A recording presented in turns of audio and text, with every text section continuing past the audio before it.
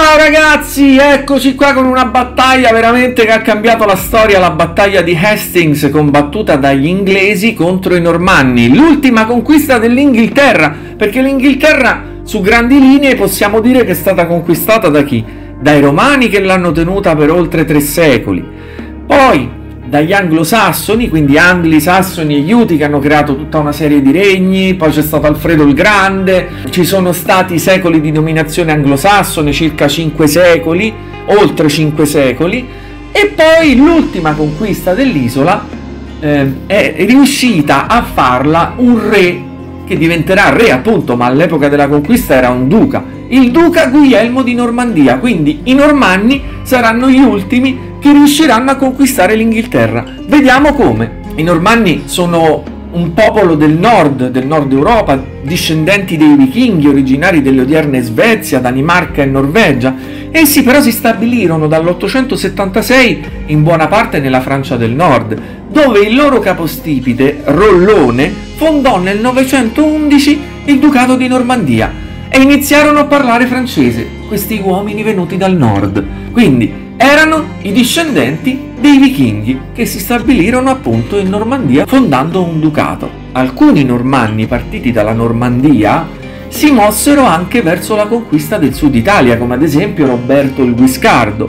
Altri nello specifico il duca Guglielmo, appunto, detto il bastardo perché non era un figlio legittimo del precedente duca di Normandia, ambivano alla conquista del regno d'Inghilterra per una serie di motivi per lo più dinastici, in quanto il re sassone Edoardo il Confessore morì senza figli ed era parente del duca Guglielmo e aveva a lui promesso il trono d'Inghilterra. Dopo la morte di Edoardo il Confessore, ignorando tale promessa, il sassone Harold Godwinson si impossessò della corona e divenne il nuovo re d'Inghilterra, suscitando le proteste di Guglielmo, il duca di Normandia, che fra le altre cose lo aveva anche aiutato durante un periodo di prigionia di Aroldo in Francia. Lo aveva aiutato, lo aveva ospitato nella sua corte e gli aveva imposto di giurare fedeltà ai normanni e a lui.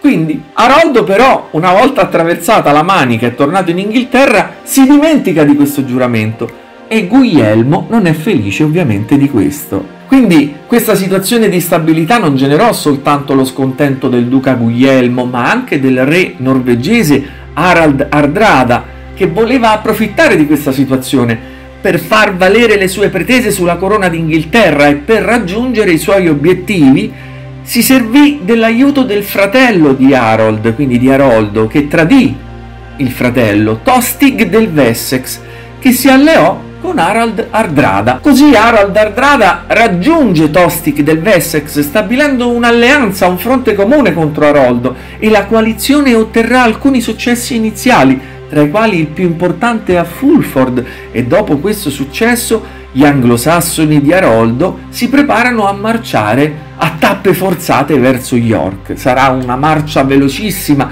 Nel frattempo, a sud, i normanni aspettano il momento propizio per attraversare la Manica. Si preparano, preparano le loro navi, caricando cavalli ed armamenti, la partenza in direzione dell'Inghilterra si avvicina e Guglielmo non vuole mancare al suo appuntamento con la storia. In Inghilterra l'esercito inglese di Aroldo marcia velocemente, come abbiamo detto, in direzione nord per poter cogliere di sorpresa le truppe di Harald Hardrada e del fratello Tostig e così il 25 settembre del 1066 Aroldo ottiene una schiacciante vittoria decisiva a Stamford Bridge. Aroldo distrugge l'esercito nemico e solo un piccolo gruppo di vichinghi riuscì a tornare in Norvegia dopo questa battaglia.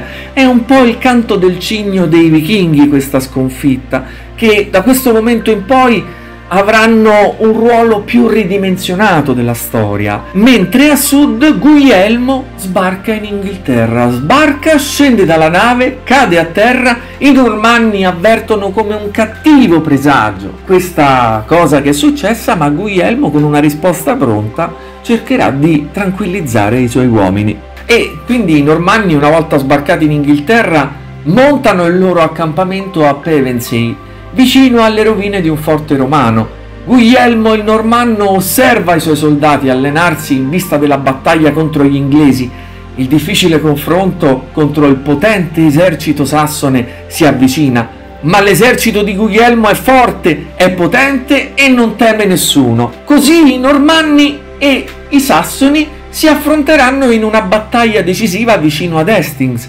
L'esito è incerto, i Sassoni sono temibili, ma sono stanchi a causa della battaglia combattuta a Stamford Bridge e a causa della marcia a tappe forzate prima verso nord, poi di nuovo verso sud, da una parte all'altra appunto dell'Inghilterra, ma l'astuto Aroldo non si farà trovare impreparato e i normanni si preparano ad affrontare una difficilissima prova ad Hastings. E vediamo come Aroldo schiera i suoi uomini e come li schiera invece il duca di Normandia.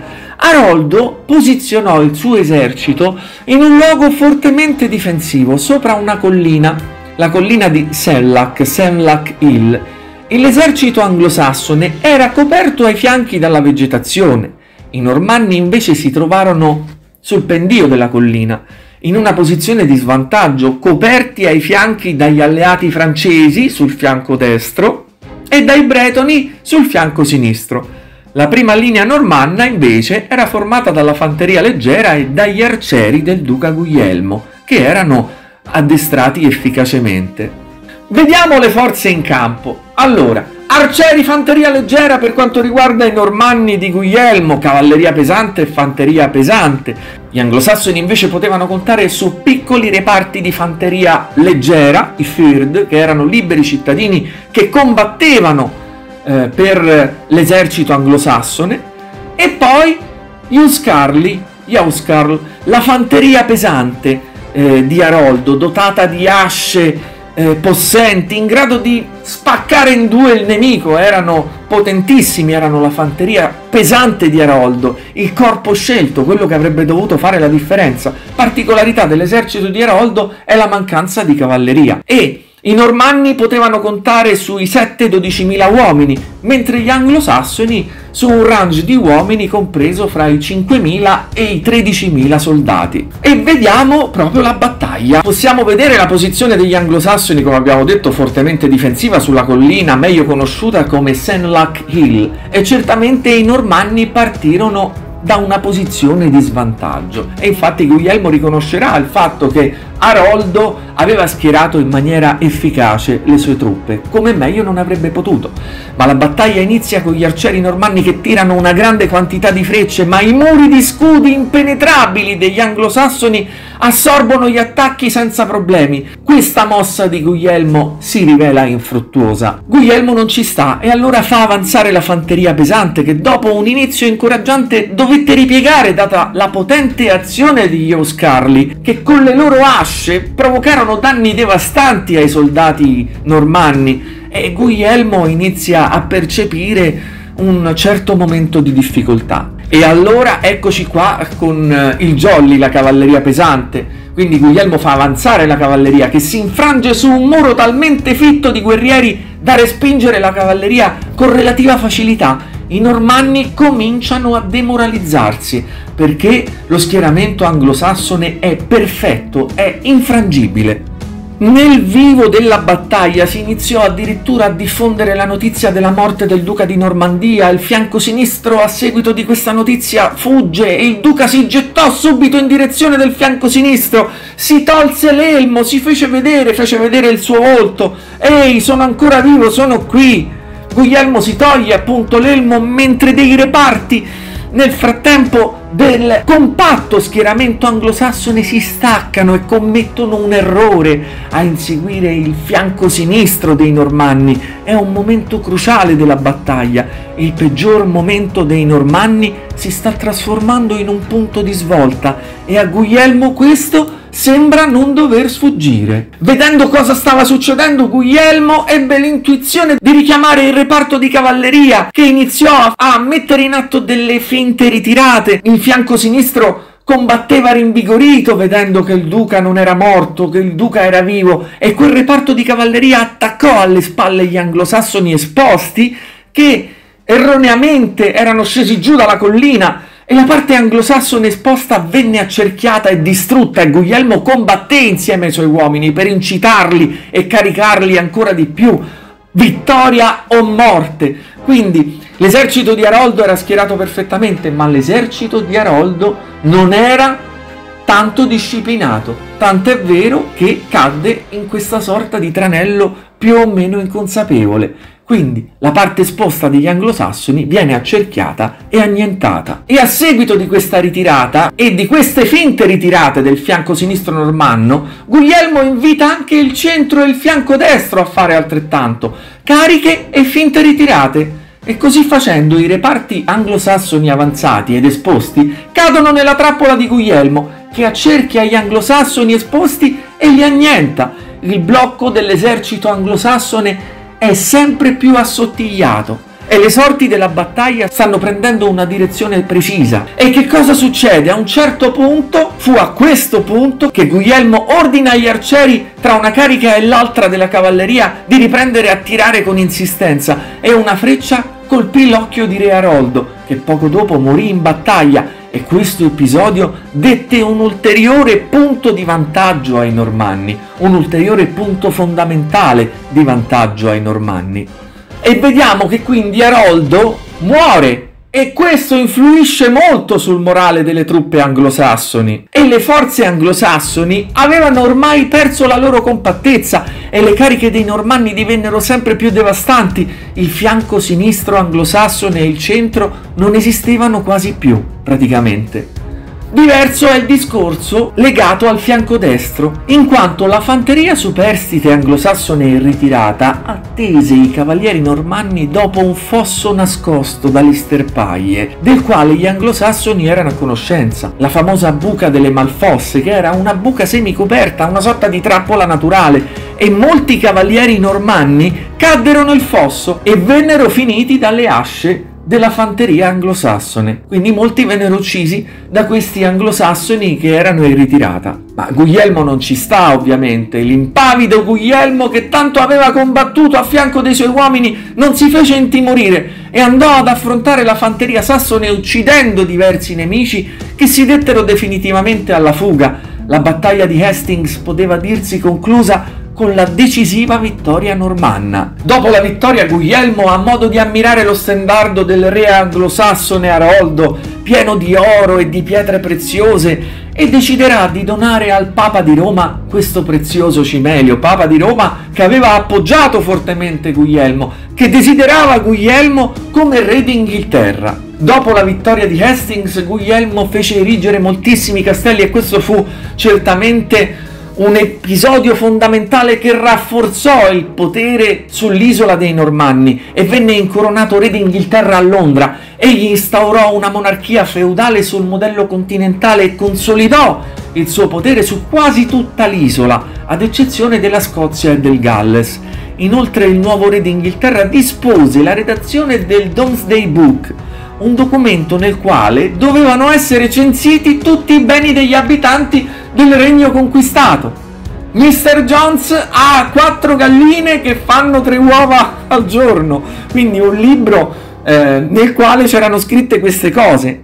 Guglielmo permise così ai bretoni discendenti dei romano-britanni di vendicarsi dei sassoni che avevano fatto fuggire dall'isola i loro antenati secoli prima e si erano insediati in Bretagna. La battaglia di Hastings eh, è narrata con estremo dettaglio nella razzo di Bayeux, che è un tessuto nel quale è rappresentata la battaglia e i suoi preparativi ed è un documento storico veramente prezioso e fondamentale. E quindi l'Inghilterra da anglosassone diventa un regno normanno, con tutte le conseguenze del caso. E infatti Guglielmo farà costruire molti castelli, come questo di Warwick, come abbiamo detto, per lanciare campagne di conquista nel nord dell'isola o per rafforzare i suoi possedimenti. Guglielmo o William il conquistatore, quindi che da bastardo diventa conquistatore, regnerà fino al 1087. Oltre al grande impatto sulla storia, storia la conquista normanna ebbe effetti anche sulla lingua inglese. Da questo momento l'Old English, che fu una lingua germanica al 100%, si estinse. Vennero gettate le basi dell'inglese moderno, che subì un'evoluzione continua nel corso dei secoli, fino al 500, con Shakespeare nella storia moderna, nella storia contemporanea. E questo inglese moderno, col passare dei secoli, rimpiazzò il lessico germanico sempre di più E per il 65-70% i termini dell'inglese moderno hanno matrice franco-latina. Solo il 23% dei vocaboli rimarranno germanici col passare dei secoli, anche se molti di questi appartengono al lessico comune. Grazie a Guglielmo l'inglese iniziò appunto a diventare la più latina tra le lingue germaniche, profondamente diversa dall'Old English che parlavano i sassoni. I normanni continueranno a costruire castelli in Inghilterra continuamente, come Gloucester, splendido esempio di castello feudale medievale, portato a termine nel XII secolo e regneranno fino al 1154, anno nel quale la dinastia Plantageneta francese regnerà per oltre tre secoli. E tuttavia, visto che il capostipite dei Plantageneti sposò una figlia di Enrico I d'Inghilterra, normanno, la discendenza normanna continuò per molto tempo. I Normanni, dopo la battaglia di Hastings, cambiarono per sempre la storia dell'umanità e la storia dell'Inghilterra. Spero, ecco, di aver dato un quadro chiaro di questo importantissimo e fondamentale episodio della storia medievale e della storia dell'umanità. Un caro saluto da Flip Prof.